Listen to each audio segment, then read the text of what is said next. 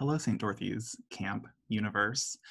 It's Ethan and Spencer here. Um, we are so, so glad to be with you for this last day as your virtual chaplains. We have had a busy, good week. First day of the week, we talked about how the last six months have been hard, and we did some Ignatian examen on the last six months of time to help us wrap our minds around what's happened. On Tuesday, we introduced the idea of sacred space, right? How how special St. Dorothy's is. Um, but we invited you to build altars in your own homes to invite that special feeling, that holy place and space into your own home. Yesterday, Spencer talked about the story of the Transfiguration and how when we have this sort of glorious mountaintop experience that for many of us feels like camp, the end of the week we say, can't we just be here all year? Can't we just stay here? And so, what does it mean for us that we can't have gone to the mountaintop this year? So, we don't get to have that. So, today we're going to talk a little bit more about that idea, um, about sort of the distinction between things that are holy and special and things that are really quite mundane. now, one of the things that is true is that every camp person has a superpower. So work with me on this. Every camp person, every camp goer, every camp counselor, camp staff person, camp director, camp chaplain, camp alum, if you are related to camp, you have a superpower. And that superpower is making something special out of something that is really quite ordinary. Now, what do I mean by that? Camp is special not because we've got a whole bunch of MacBooks or PlayStations, not because there's gold and Teslas or celebrities there. The stuff of camp is really quite ordinary stuff. It's like pencils and markers and umbrellas and flashlights and water bottles and decks of cards and hula hoops and door signs and bunk beds, all very, very normal things. And we all just work together to make those things seem special to us. We use very ordinary things to make the time that we have together holy. Now, it may seem funny to stand back and say, like, gosh, I just had like the best time ever with a deck of cards and a bunch of my camp friends. But we're going to hold on to that idea for this presentation today.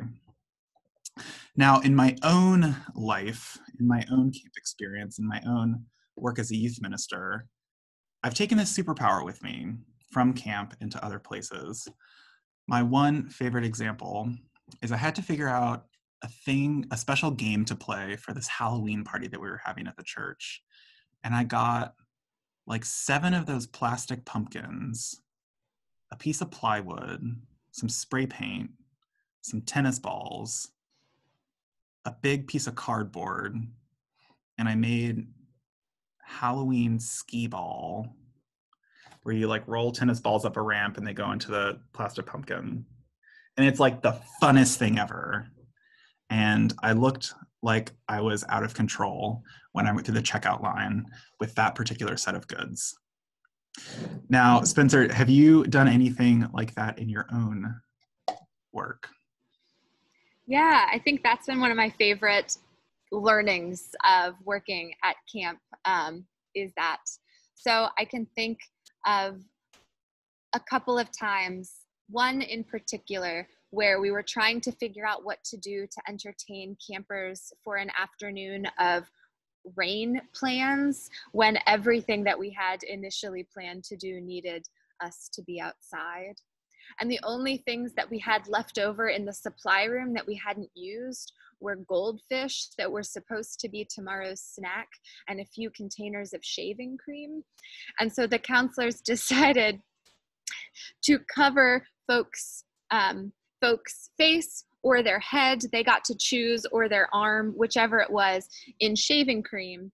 And the rest of their team would toss goldfish and see how many they could get to stick. And whoever stuck the most goldfish won. And it entertained them inside for hours. It still entertains me to think about. Um,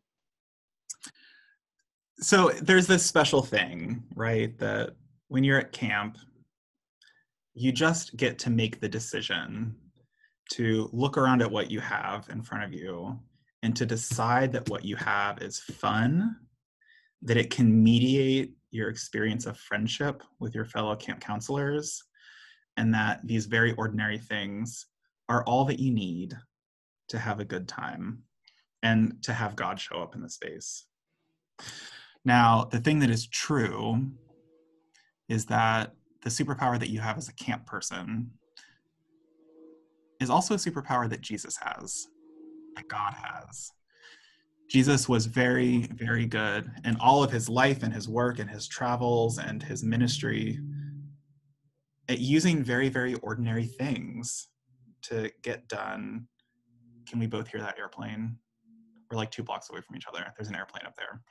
Um, using very, very ordinary things to accomplish his work. So again, Jesus didn't have, you know, the latest technology. He didn't have a bunch of money, right? He didn't get to place an Amazon order every time he needed to get something done. He just used what he had around him. And so we have examples from the Bible where Jesus found 5,000 hungry people and said, What do I have?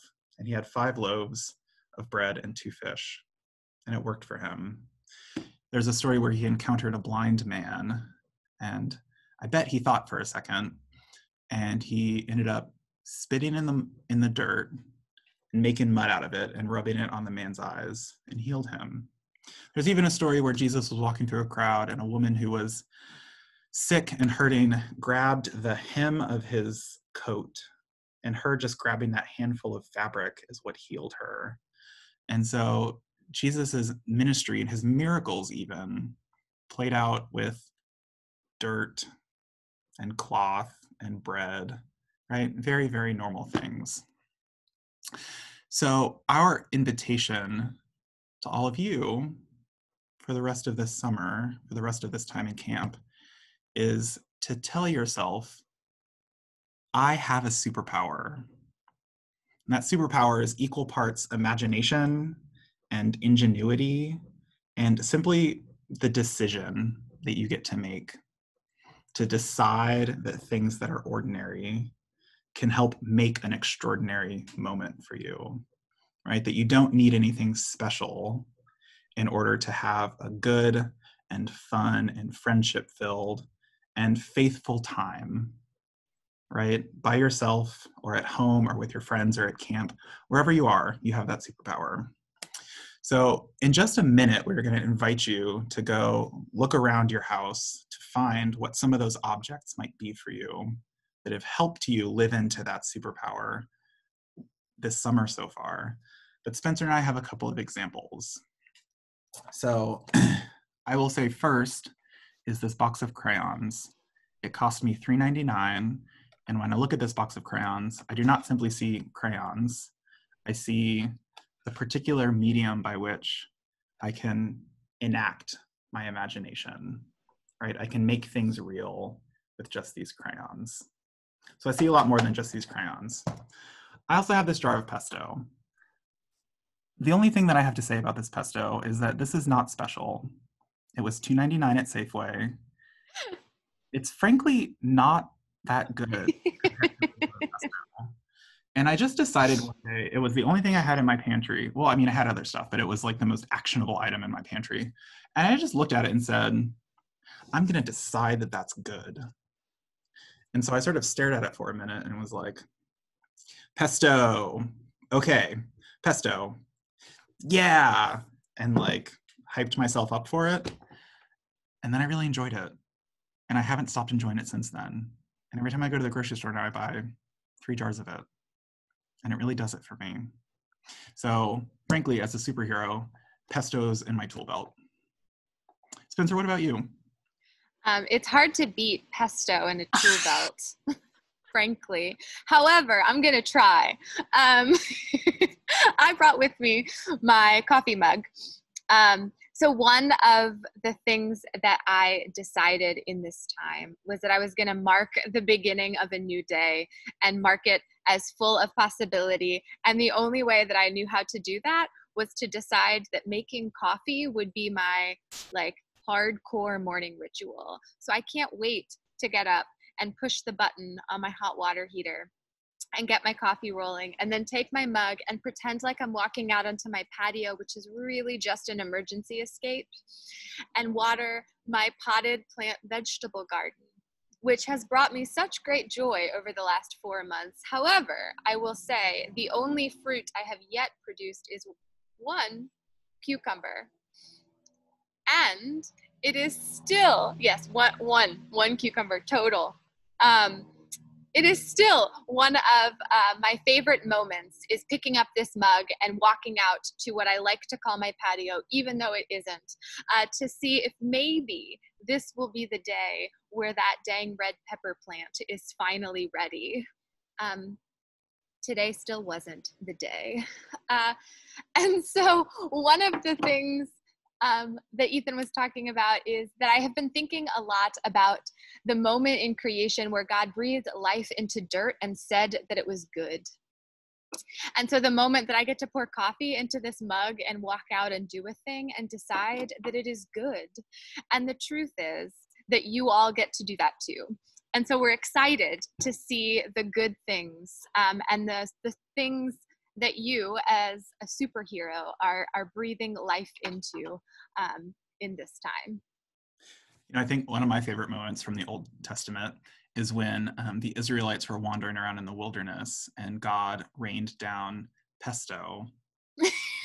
Jarred pesto to be very specific. And the israelites said come on we've had enough of this jarred pesto. Give us can you please give us some basil okay, with that, um, I'm gonna ask you to go up, get up, walk around your house, look around, see like what is the object that is your pesto or your coffee mug or your cucumber or your crayons, and bring it back. And we're gonna talk about what those objects might be.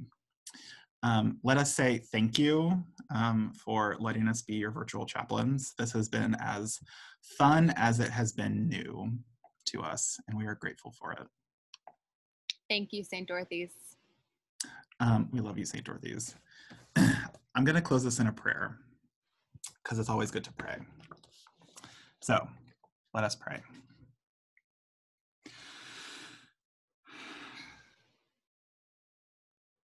Welcoming God, giving space for creation to return your love. Make us apostles of the open table, a place of hospitality to challenge the world with the gift of eternal life through Jesus Christ, who offered himself for us. Amen. Amen. Okay, we'll see you in a minute. Bye.